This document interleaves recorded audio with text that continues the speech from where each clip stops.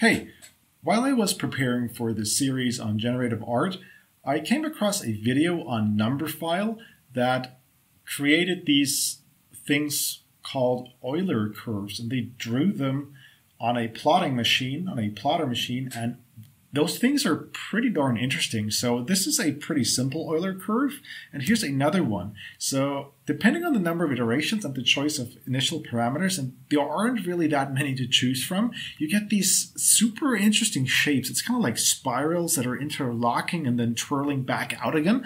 And it's really amazing how simple of a function that is and how easily you can recreate that in Python using the turtle um, setup. And yeah, so let's recreate some of these structures. And it all starts with this image right here, but eventually we'll get to this in just a couple of lines of code. So this won't be a long video, but it's going to be a super interesting one. Let's head over to the editor. Here's my basic setup as it was with all my other videos in this series as well. We are importing the turtle module. We are setting our theme by importing the theme and then the set theme function and then calling it. We have our random module, we run this, here's our canvas, everything's perfectly fine. Now, an Euler curve is so super simple. You just say Euler curve, this is our function, and there's a step size by how much we are advancing our turtle, and then there is an angle step, that is by how much we are changing our angle. And then there's really just the number of steps that we are walking, and well, now comes the code. We, we initialize a variable called angle to zero, and now we'll say for i in range, whatever many number of steps we would like to walk, we'll turn by that angle, then we'll move forward the step size, and then we're increasing our angle by the amount of angle step that we specified up here. And, you know, just that just that is the Euler curve, and it is so surprising to see the results we can generate with that. So let's set the Euler curve, and we'll initialize that with a step size of 40, and I fine-tuned these values to fit onto our canvas. And let's go for an angle step of 1.00 and a number of steps of 600. And with the set theme, I'm going to set the tracer value equal to zero, and I'm not going to hide the turtle. So we'll set hide turtle is equal to false because it's important to see what's going on here. And yeah, let's run this. And there we go. You can now see that we have this turtle, which is spinning right in there. You can really see it going around all the time. And now it's slowing down, coming back out, and up there it goes. And that is the Euler curve. And it is so simple. I mean, it's really just stepping. So you can you can sort of see this here. There's like these little edges because the step size is pretty large. So it's advancing, it's turning slightly, it's advancing, it's turning slightly, and it's doing that over and over and over again until eventually it will have turned by so much that it's now essentially coming back around.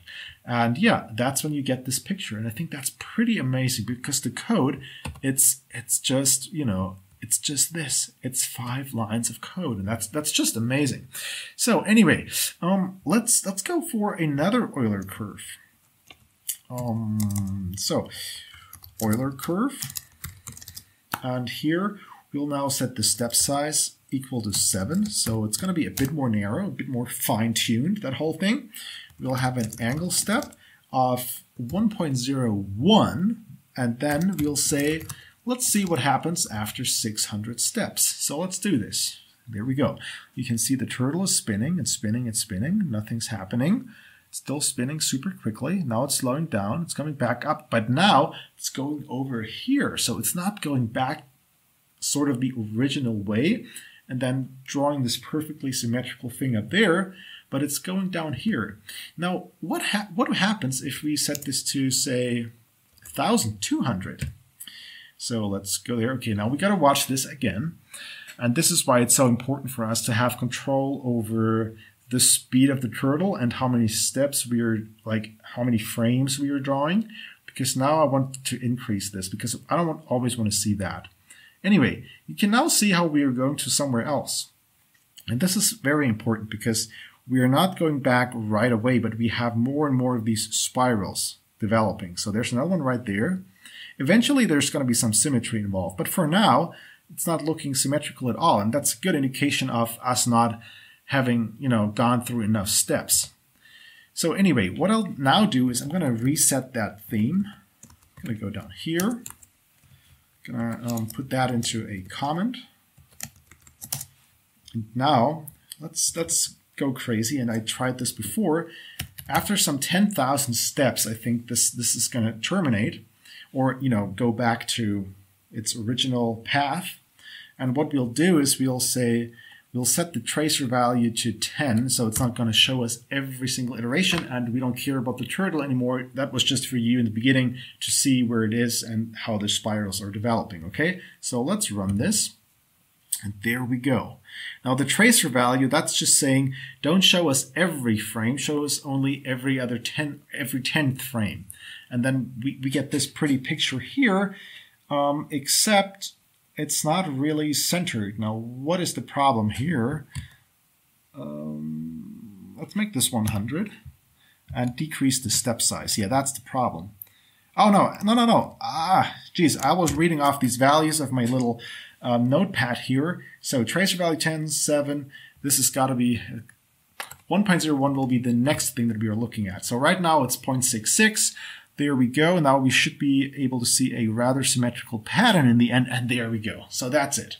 Um, pretty cool thing, right? And it's it originated from the exact same code, and you can kind of see the original spiral here, but now it's just sort of added to that. Anyway, let's comment this out and go for the next cool pattern. And here, we'll now go for the 1.01 and here I had a step size of 2 and I was only drawing every 100th frame. And down here we have another multiple of 10 many um, iterations to go through. And here we get this sort of pattern. Again it's it's the same. Okay can we still make out the original spiral somewhere in here? And then it just or oh, actually right there I think yeah. And then it just spreads out from there. And yeah pretty cool. Now there's one more that I prepared for you guys. So let's copy this once more down here. And so now we'll set the step size equal to 3 and the angle step to 1.99. We'll leave that as is. And so yeah, let's just give it a go. Okay, there we go. And look at this. So now it's going back and now it's appending to that at the top. Cool stuff, right? So if you like this video, consider subscribing to my channel, leave a thumbs up and start experimenting with your own values. Go crazy, you know, change little things here and there. Make this 1.90 and see what happens. I mean, this the image before was slightly cooler, I think. But anyway, have fun playing around with this and yeah, get into generative art. It is super cool and very interesting.